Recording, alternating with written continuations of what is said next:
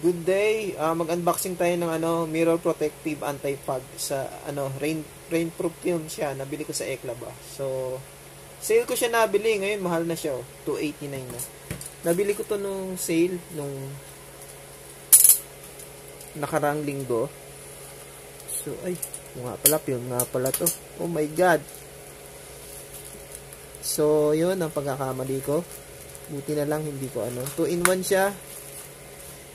So, na-excite akong hatiin ng cutter nga pala, film nga pala to. So, buti na lang may protective ano siya.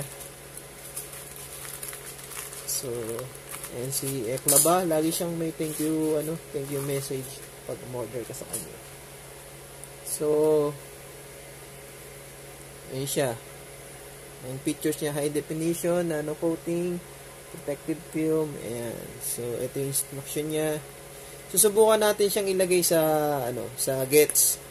For the meantime, unboxing muna tayo kung ano yung nasa loob niya. So, maganda yung ano niya, packaging niya, in fairness. So, ito yung nasa loob niya. Dalawang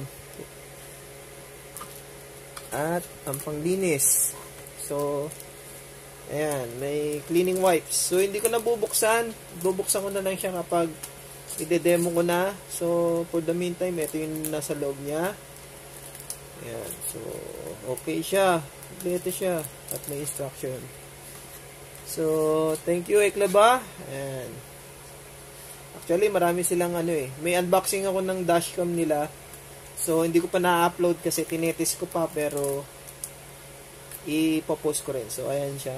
Thank you, Eklaba. So, if you like this video, click like and subscribe. I-demo ko to sa Hyundai Gets.